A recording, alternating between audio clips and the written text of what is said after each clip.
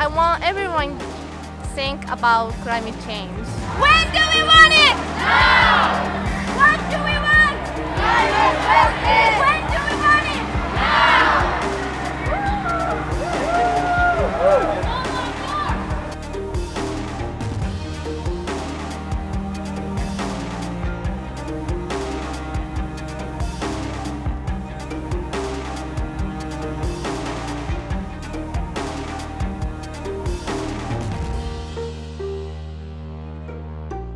Fridays for Future.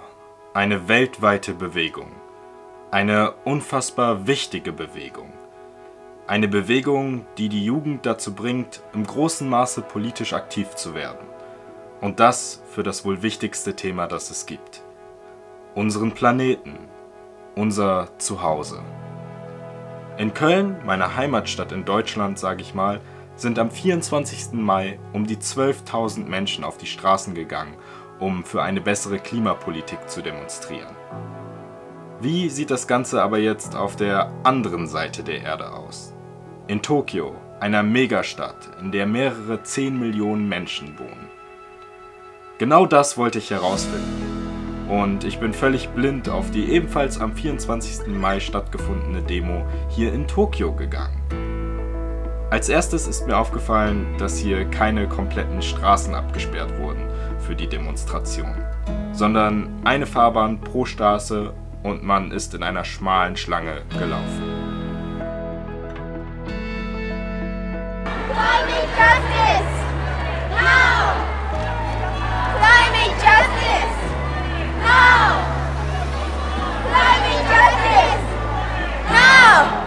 In Japan kann man übrigens als Ausländer sein Visum verlieren, wenn man bei einer Demonstration mitmacht und von der Polizei festgehalten werden sollte. Allerdings war die Polizei bei uns super nett und hat uns einfach nur auf unserer Fahrbahn gehalten.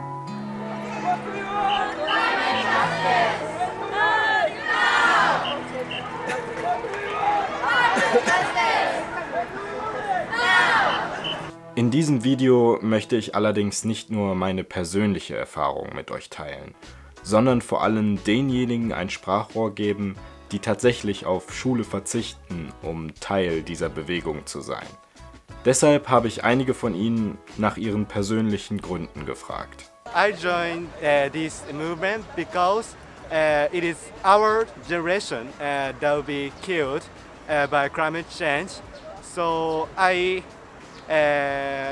have to join this movement uh, because I, as Greta says, that uh, I was doing nothing particular, so little.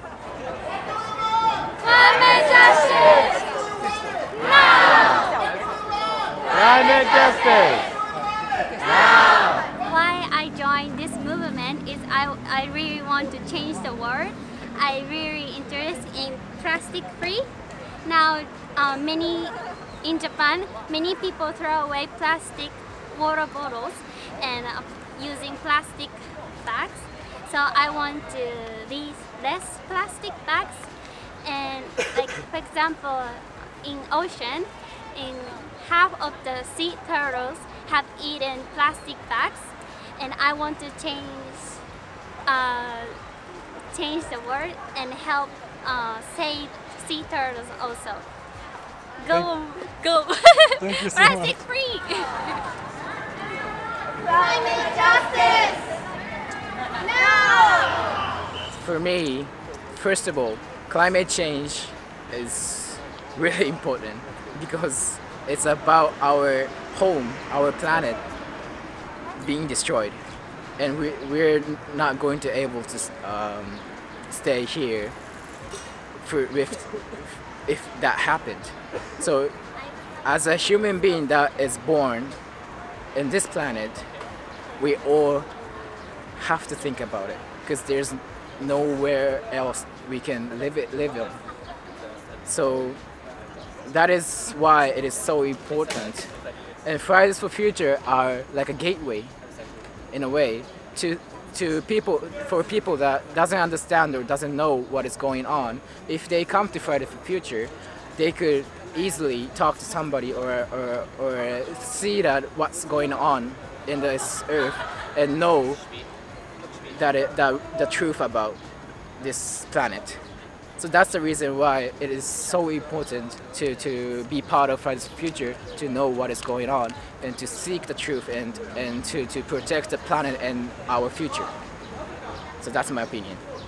An dieser Stelle möchte ich nochmal etwas Bewunderung ausdrücken dafür, dass diese japanischen Schüler mit mir gesprochen haben, auf mich zugekommen sind sogar teils und halt mit mir in einer für sie sehr schwierigen Fremdsprache gesprochen haben, einfach um ihre Meinung der Welt mitzuteilen.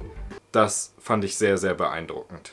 Und dann habe ich schließlich noch jemand anderen Deutschen getroffen und gefragt, hey, Warum ist es für dich wichtig, als Deutscher hier in Tokio für Fridays for Future auf die Straße zu gehen? Ich finde es hier gerade ganz arg wichtig, weil wenn man hier mal ein paar Mal eingekauft hat, dann merkt man, wie viel hier Plastik verwendet wird. Also man kriegt teilweise eine Tüte, um die in eine Tüte einzupacken.